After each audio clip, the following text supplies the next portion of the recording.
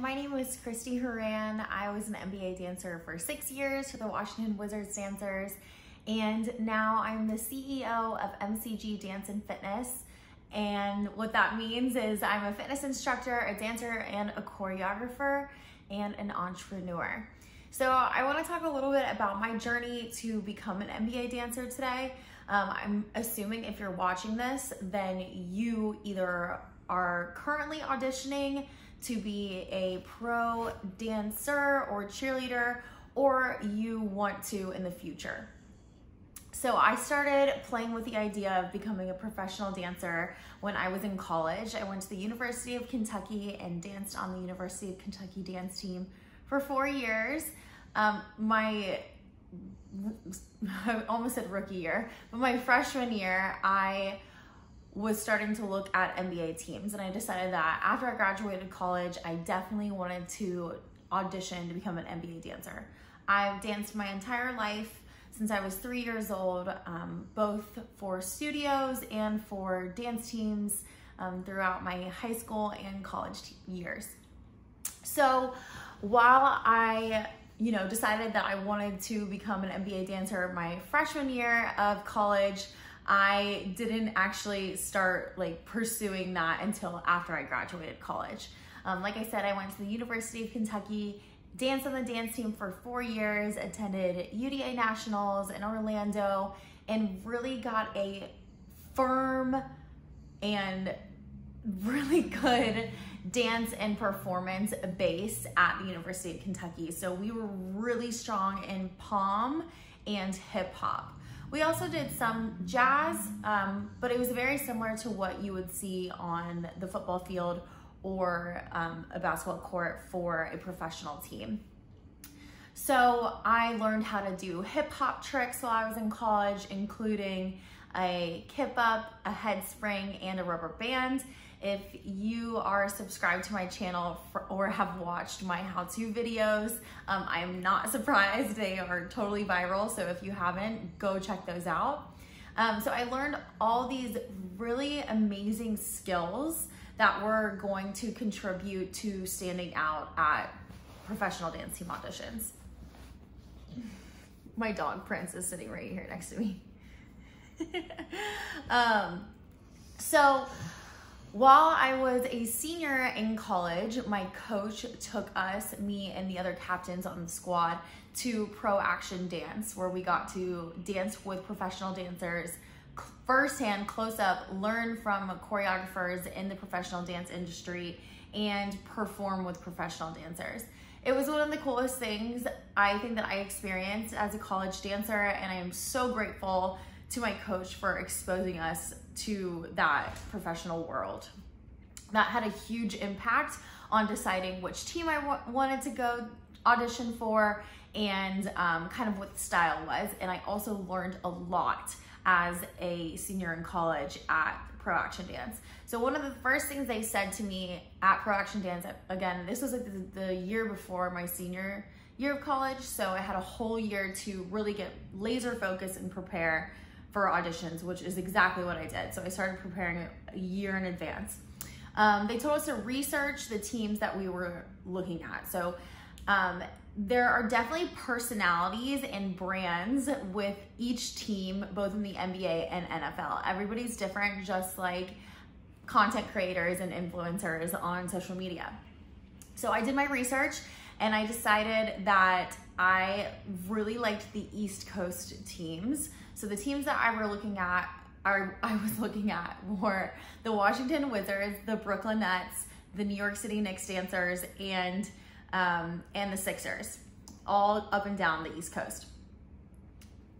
So um, I started doing my research on those, and I decided that I really liked the Brooklyn Nets, and I wanted to train um, specifically for them.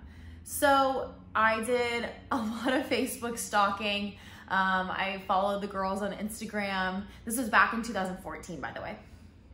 Um, I followed all the dancers on Instagram. I followed the coach. Um, I attended clinics.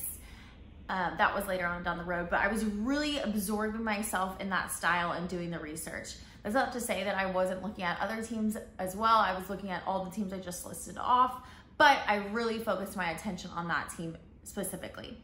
So I after I decided that that's kind of what I wanted to look at, I started preparing my body for auditions. So it's no secret that um, as a dancer, you are an athlete, and that means that you have to treat your body like you are one as well. So I started eating a lot healthier. Um, I started to go to the gym more consistently. I started to work out and do workouts that I noticed that other dancers were doing or that had a uh, transformation on my body that I liked. So I really got laser focused on making sure that um, you know your body is a temple and you, that you treat it right. That's not to say that I didn't have fun my senior year of college. I definitely did, but I also was like I said, laser focused on um, having the judges say yes to me. Okay, so I was getting my body ready. I was eating healthier. I was going to the gym. This is my senior year of college again. And I was dancing all the time because I was already on a dance team. And that I think really prepared me for auditions. Um, why do I say that? So my college dance team, um, my coach is Dawn Walters, and she's my mentor to this day and she still prepares the girls for going professionally and having such like a, a, a wonderful um, dance team. So that means um, making sure that you bring all your stuff to games or you know you will be sat out. That like getting your making sure that your hair and your makeup and your glam look great. Making sure that your bra is tucked in when you're dancing um, what else? Making sure that you're on time we got in trouble we were sitting on the floor before practice chatting like it was time to go. Um, making sure that we turned in everything that we followed directions and again that we were on time. So all these things at the at the time we just you know I was just doing because they I was just following the rules and trying to be a good teammate but all of those things that were required of me on my college dance team made such a huge impact and really helped me be prepared for professional dance team auditions as well. Um, so that's those are the ways that I prepared myself. I did my research. I started getting my fitness and my health ready. Um, I was working out.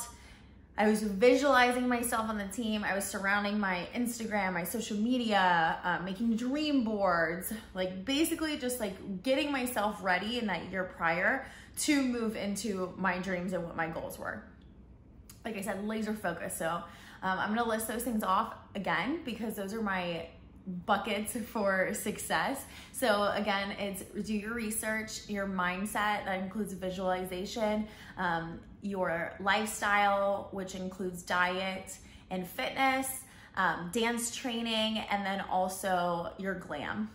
So Fast forward to graduating, I actually got a job working in Baltimore, Maryland for a dance choreography company.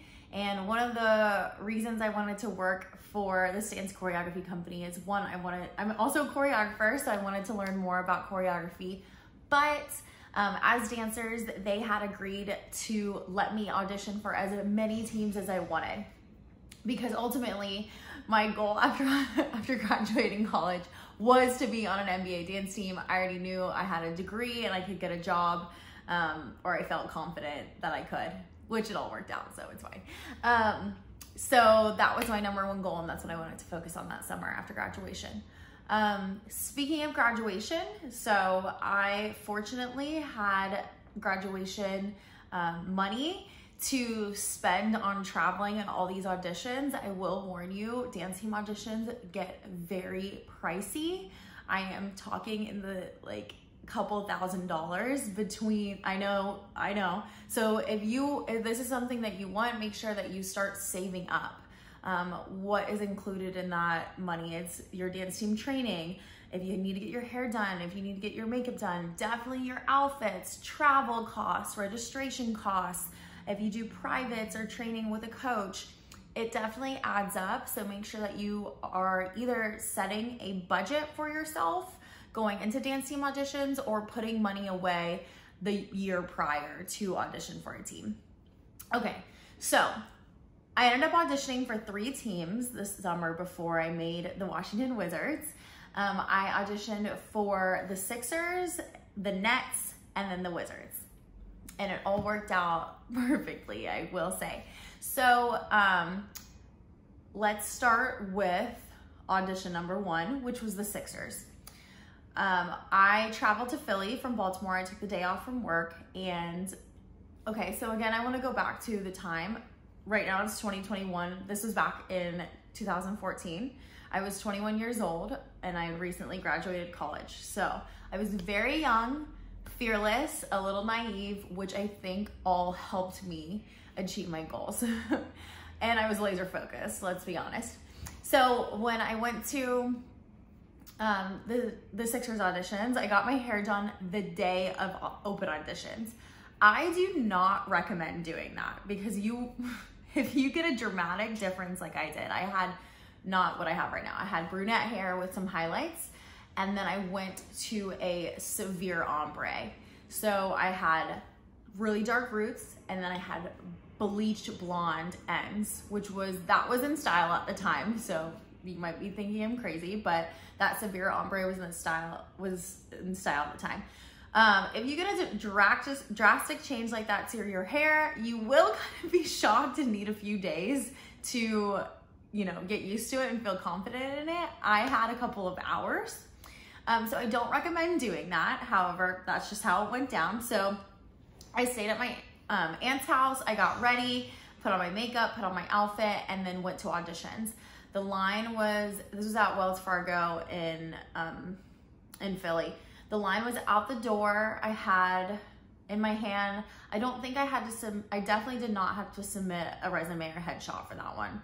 Um, so I just showed up with my dance stuff, checked in, followed the line around. I'm gonna kind of um, brush through this audition um, because spoiler, I did not make it. So, which is okay. This is another reason I wanted to do this video is because I work with a lot of dancers. One of, um, one of the, the things I specialize in is performance, power performance training for dancers who are preparing to go to um, either college dance team auditions or professional dance team auditions.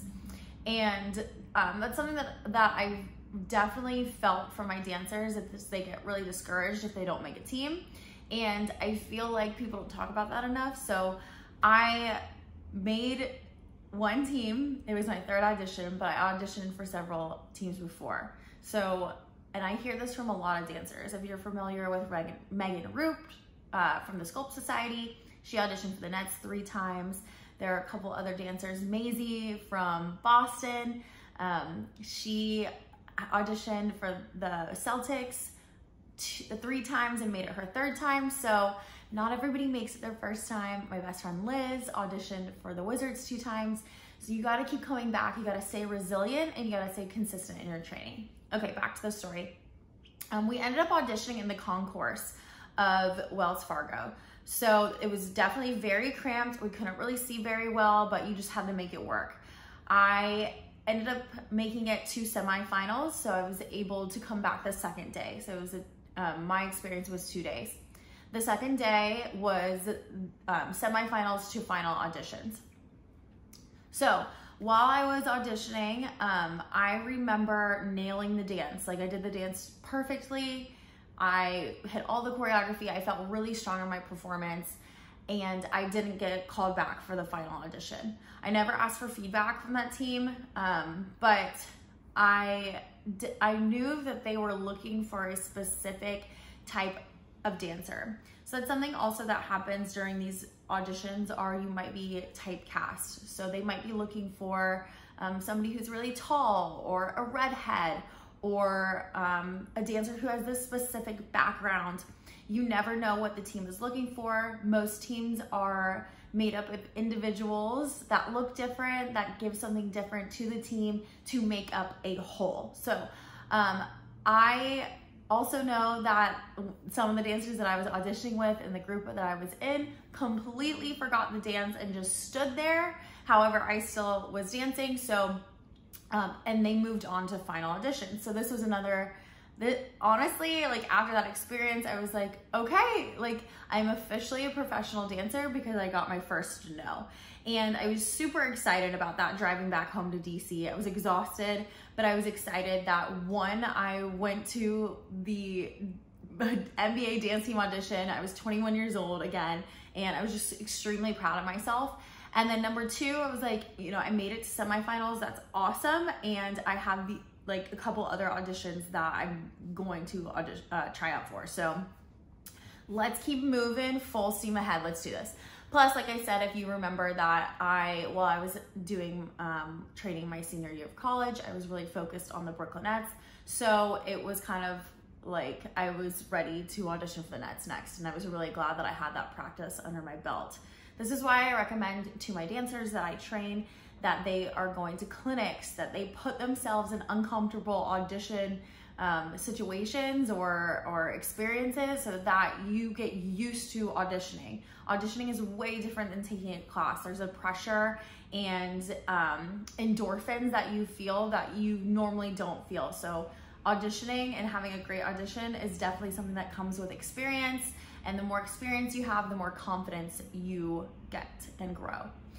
Okay, so next audition was two weeks later, and that was the Brooklyn Nets audition. I was super excited. Obviously, this is the team that I was like really excited for. And Prince. This is the team I was super excited for, and I was super nervous. And um, honestly, I don't remember too much from the audition. Like, I, I think I remember more from the Sixers. I was a little bit like they're like more relaxed. The Brooklyn auditions. I definitely remember being challenged, loved every single part of it. And I remember being like starstruck by the dancers. Like I, I remember feeling like, oh, um, I'm not good enough to make the team. Like it's kind of like I remember feeling that. And I think that that mentality has a huge, huge part of the reason why I didn't make the team. Um, and then there was also probably stylistic choices and I wasn't from the area. So I don't know, some, some things I feel like plays a part of that. But for the most part, I think I felt like they were at a level that I wasn't at. And I definitely think that mindset, even though I had been doing my research and and visualizing all year when I got there and I was in that I am less than mindset, I, I it did not help me at all. So again, I, I made it to semifinals for the Nets.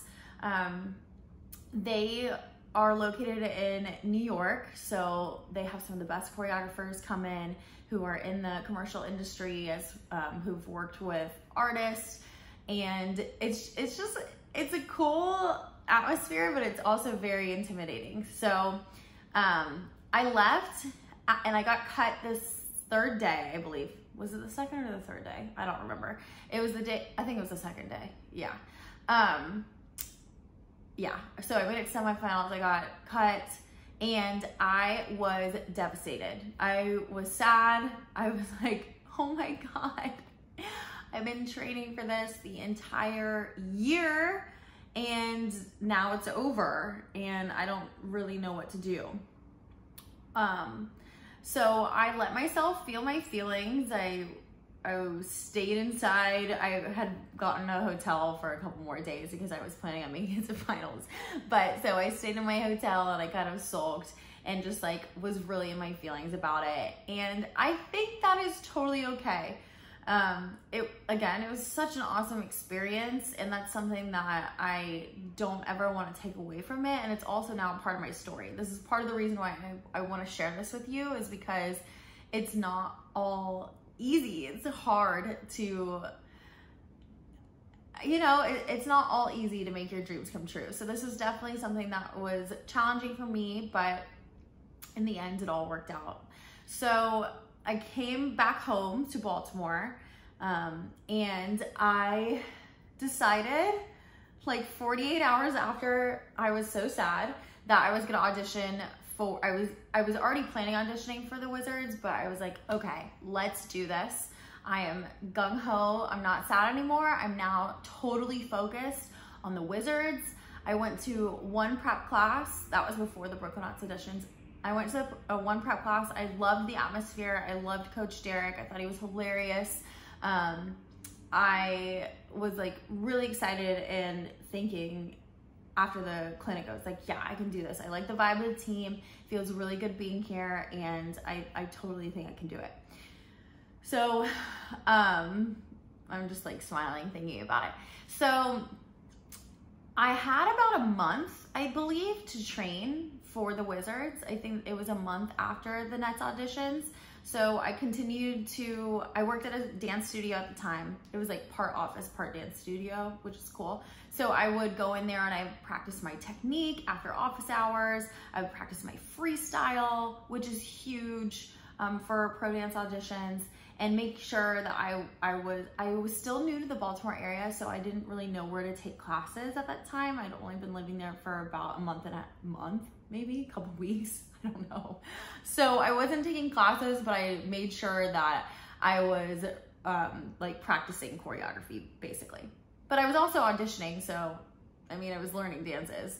Anyway, um, okay, let's let's move the story along. I remember, and I was working out. I was working out a gym, working out at a gym in um, Fed Hill, which is um, one of the neighborhoods in Baltimore, and I was running outside to the Under Armour HQ, and I just remember um, listening to the song "Shower." You let me up inside like I'm the fourth, like the Fourth of July. You know that song, "Shower" by Becky. I can't remember her last name. I just remember um, like running to it and really just visualizing myself in the Wizards uniform and visualizing myself at the audition and I got a new uh, new outfit because they were a little more showy and a little more glam and they wanted um, more sparkles. So it was definitely a different vibe and something that I had to figure out and do my research on again. And I was like, this is my last chance to make a dance team this year. Like, let's do it. So I went in and Wizards auditions were the, the most fun auditions that I had been to by far. Everybody was, it was a really big audition that year too, um, back in 2014. Um, everyone was cheering each other on. There was freestyling parts. There, um, Coach Derek was like snapping and like throwing his pen if he liked you. It was just so animated and so enthusiastic and welcoming that I I could feel it was a totally different experience. Like I felt myself relax and be a little bit more at ease and be able to be confident in myself. I also think I put that pressure on myself like this is my last chance. Like I'm really going to go for it and do everything that I possibly can and get my mind right and and focus on doing the best that I can. But also by that time, I had two auditions under my belt. I, the audition nerves were already out. I always recommend to my girls to take as many, to do as many auditions as possible. Um, so the, the nerves were already out and I was just really able to shine and step into my element. And there is no coincidence that I was able to have a successful audition that year for the Wizards. So um, I came in, there were three rounds that day. So, and I think you can watch, they have like Making of Wizard Girls 2014. You can look that up on YouTube. And that was my first year. That was the audition process that year. Um, so you had, we had open auditions where any, anyone can come, everyone can sign up as long as you meet the like the require age requirements and stuff. Um, you have freestyle, you had the hip hop round, and you had the jazz round. It was a long, long, long, long day. I think it was eight to nine hours. I was not prepared. I didn't, I brought one water bottle. I brought like a bag of almonds and that was it. I was starving and tired by the time it was over. But this is like, I, I feel like the Wizards auditions, I don't know if it was because I, um, you know, I just didn't realize how much of a difference the, um, from going from college auditions to pro dance team auditions that there were. So there were girls who had like their entire makeup bag and like mirrors and had their hair. Um, they would curl their hair in between rounds and I was just like blown away. I was just there to dance. So that's something that I definitely learned from that audition that I was like, oh, I should probably do this. Um, a couple of other things that I didn't know, but just showed up to shine anyway. Um, the Wizards wear tights whenever they wear shorts. I didn't know that, so I didn't have tights on. Again, do your research. Clearly I didn't do it enough. Um, so I had to go out that the previous or the next week and get tights. Um, just little things like that. So made it through open auditions, made it to training camp. Training camp was three weeks that year and you practice with the vets and we uh, were practicing for a showcase um, that you are announced at the finals for if you make the team.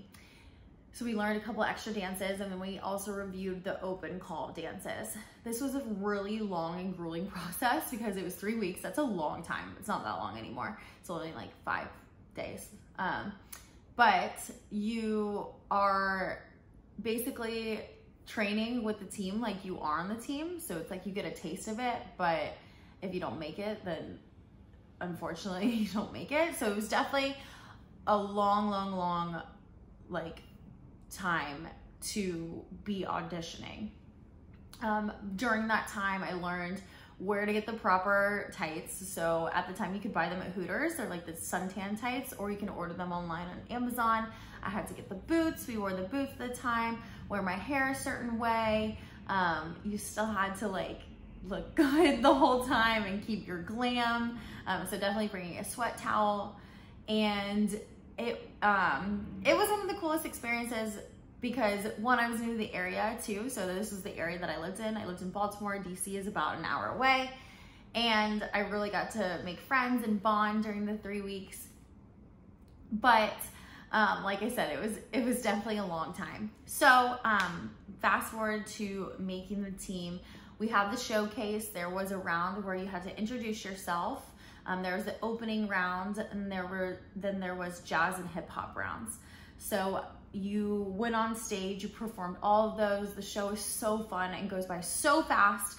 And then you are announced at the end. It was so cool because one vet was called to start off and then I was the first rookie called. So it felt like literally like a wave of relief and my dreams coming true and excitement and just like this wave of happiness come over me all at one time. Um, and it, it really felt like all the hard work that I put in that previous year and visualizing, doing research and dancing and eating right and working out and learning the whole thing and going to all the auditions and traveling and spending all that money really like paid off for that. So I know that was a lot. Um, hopefully that helps illustrate a little bit more about how my, well, first of all, my experience um, and then if you have any questions or there's something that you would like to, for me to go over or make a separate video on, I would love for you to leave a comment below and or ask a question in the comments below. I'm happy to answer them. So that is my journey to become an NBA dancer. Um, I'll let you in in a, a little uh, secret, I guess it's not a secret. I, I stayed on the Wizards Dancers team for six years. So from 2014 to 2021, I danced four years on the Wizard as a Wizard girl. So we were a all-female squad for, uh, for four years while I was on the team. And then after that, starting in 2018, um, the Wizards transitioned to a co-ed squad. So we went from all female to co-ed and I was on the Wizards Dancers for two years. So a total of six years. Um, and I will go into my experience on the team more in a different video. So if there's anything you'd like to know on the team, please let me know. Type it in the comments. Um, and I hope you enjoyed hearing a little bit more about my story and how I got to become an NBA dancer. If you are training to become an NBA dancer or have gone through these auditions, um, I'd love to talk to you on a deeper level. Please follow me on Instagram at Miss Christie Girl. Send me a DM, connect with me. And then I also do training virtually with my program Powerhouse Pro or privates virtually. So I can definitely help you. Let's make your dreams come true. Thank you so much for listening.